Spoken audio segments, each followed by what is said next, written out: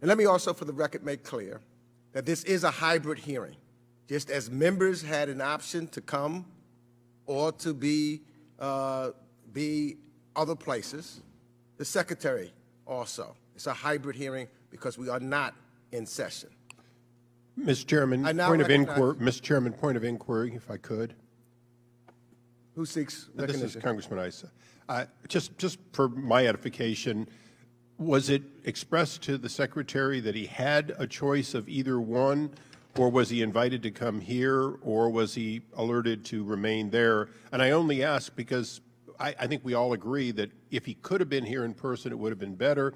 But if, if it was an option or for whatever reason, because I want to make sure that it's clear that the Secretary may have done no wrong, even though many of us would prefer him to be here. So, Secretary has done no wrong. It was an option, and I made it as an option as I've done with every member.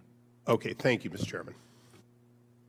I now recognize uh, Representative Karen Bass of California, who's the chair of the Subcommittee on Africa, Global Health, and Global Human Rights for five minutes.